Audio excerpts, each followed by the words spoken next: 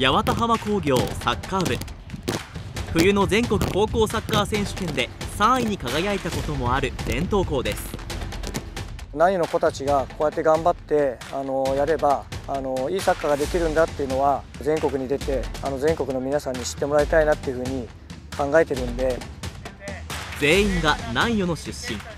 部員30人のチームの指揮を執るのは高校の OB でもあり愛媛 FC などで選手として活躍した兵藤義則監督です。もう常に八幡工業は攻撃の姿勢を持つっていうのがベースになってます。ドイツのサッカーを志向しトレーニングの至る所にドイツ流を取り入れている八幡浜工業。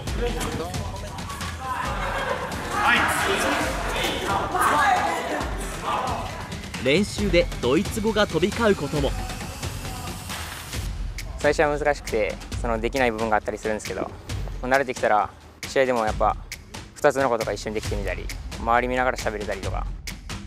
夏のインターハイ冬の選手権と主に2つの大会で全国の頂点を目指す高校サッカー。八幡浜工業は選手権の県大会で過去5年でベスト4以上が4回。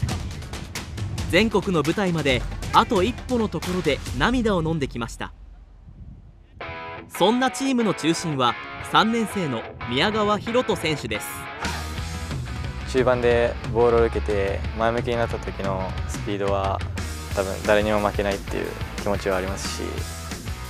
得点感覚に秀でた生粋のストライカーは去年の県選手権で当時2年生ながら出場した全選手の中で2番目に多い7得点を挙げました。そんな宮川選手には忘れられない試合があります。いつもなら決めれているシーンでもやっぱりそういう舞台に立つとやっぱ緊張感とかいろいろあって外してしまって。去年11月県の選手権準決勝。八幡浜工業は優勝した帝京第五に2対6と大敗。この試合宮川選手は無得点に終わりました自分がもっとゴールに向かう姿勢が足りなかったなと思いました。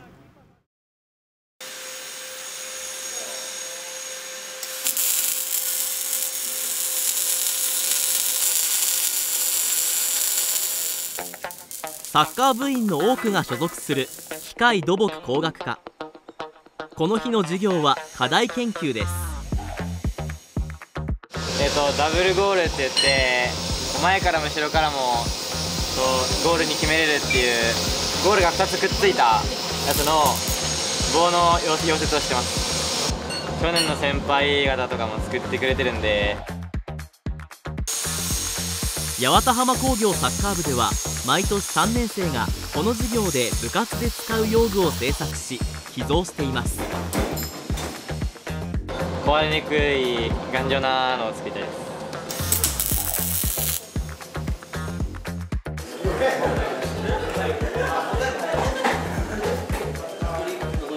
大体なんかこいつがふざけるんでそれで盛り上がってます。サッカーの、えー、一面いきます、えー、試合終盤。あ足が足が足がつる以上です。実は宮川選手をはじめサッカー部の3年生は11人中8人が中学時代同じクラブチームでプレーしました。全然変わらないですね。強いて言うなら髪型ぐらいはい髪型髪型ぐらいですね。うるさい。授業中とか。授業中とかも一番うるさい。一番うるさいのキャプテン。キャプテンが一番うるさいです授業中は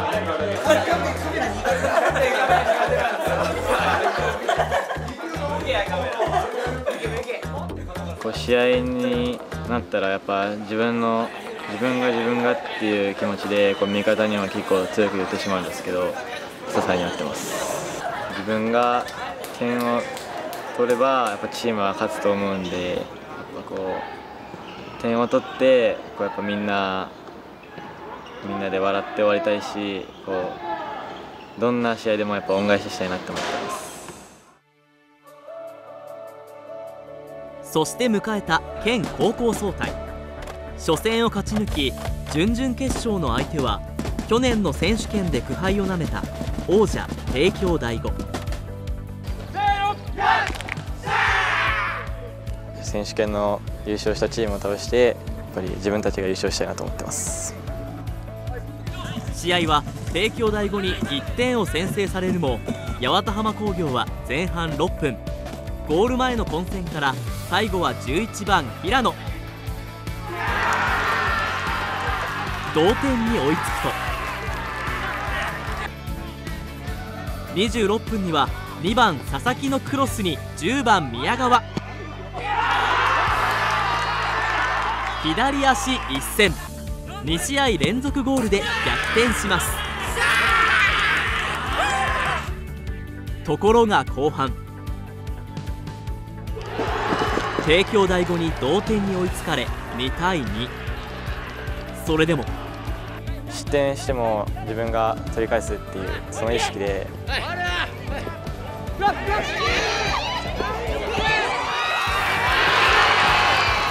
これが八幡浜工業のエースの底力。勝ち越します。しかし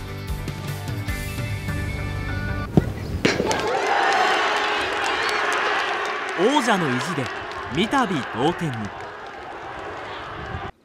このまま延長戦でも決着せず PK 戦に突入します。八幡浜工業の1人目は宮川。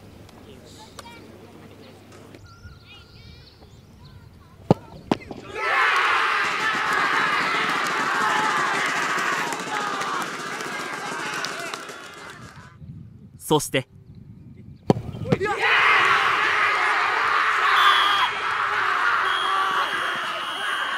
あと一歩。及びませんでした。それでもあと一歩に迫りました。言ったじゃん十分狙える優勝を目指していこうぜって。自分たちが信じてやってきたことがここまで通用したんだからあもう一回頑張ろう。冬は絶対勝とう。それまで愛媛で一番頑張ろう。分かった。よし。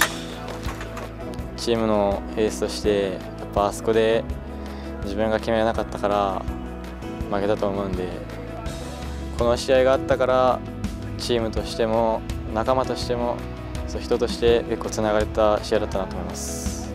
本当にあと一歩っていう差をここで詰めて選手権では自分たちが絶対優勝します。冬の選手権では今度こそ愛媛の頂点へ八幡浜工業イレブンの挑戦は続きます。